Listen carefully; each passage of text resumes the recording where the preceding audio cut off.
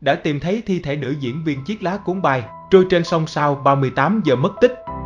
Sau 38 giờ tìm kiếm, cuối cùng lực lượng chức năng đã tìm thấy thi thể của nữ diễn viên chiếc lá cuốn bài Tang Monia trôi trên sông Chao Phraya, Thái Lan.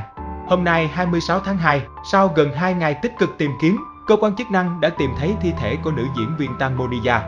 Cô bị rơi xuống sông khi đang đi dạo trên du thuyền cùng bạn bè từ đêm 24 tháng 2. Được biết, cơ quan chức năng tìm thấy thi thể Tang Monia trôi trên sông vào hồi 13 giờ ngày 26 tháng 2 và cố đưa thi hài của cô vào bờ. Theo trang khao so, Tăng Mo mặc chiếc áo giống hệt trong bức ảnh cuối cùng trước khi xảy ra tai nạn. Theo thông tin trước đó, Tăng Mo cùng nhóm bạn gồm 3 nam và 3 nữ đã thuê tàu vào tối 24 tháng 2 để đi dạo trên sông. Khi ở trên tàu, nhóm bạn của Tăng Mo đã uống 3 chai rượu. Sau đó, nữ diễn viên có xuống đuôi tàu để đi vệ sinh. Vì sàn thuyền trơn trượt và Tam Mo đi giày cao gót nên cô đã bị rơi xuống sông, mất tích tới ngày 26 tháng 2. Truyền thông Thái Lan cho biết, địa điểm tìm thấy thi thể của Tàng Mo chính là nơi mẹ của nữ diễn viên Thả Hoa đăng cầu nguyện cho cô vào buổi sáng 26 tháng 2. Suốt hai ngày qua, mẹ của Tàng Mo luôn túc trực tại hiện trường chờ mong con gái trở về. Bà liên tục chia sẻ với phóng viên rằng, ngay từ nhỏ con gái đã bơi rất giỏi và mong rằng con sẽ bình yên trở về. Bạn trai hiện tại và chồng cũ của Tang Mo đều có mặt tại hiện trường để chờ đợi thông tin về nữ diễn viên 38 tuổi.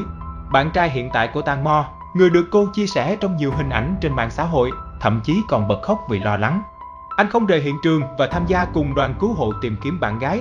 Anh và mẹ của nữ diễn viên đều suy sụp khi nhận tin về Tang Mo. Tối 25 tháng 2, nhóm 5 người đi chung thuyền với nữ diễn viên xấu số đã trình diện cảnh sát. Trước đó, nhóm bạn này từ chối xuất hiện tại cơ quan công an.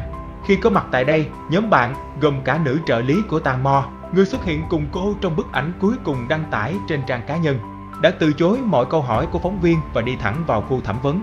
Người điều khiển chiếc thuyền cũng có mặt tại sở cảnh sát. Người này cho biết, khi sự việc xảy ra, tất cả mọi người đều rất sốc và hoảng loạn.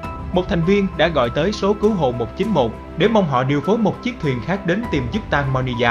Cả nhóm cùng quay lại quãng sông vừa đi qua và tìm kiếm trong vòng 15 đến 20 phút nhưng không thấy tung tích của nữ diễn viên.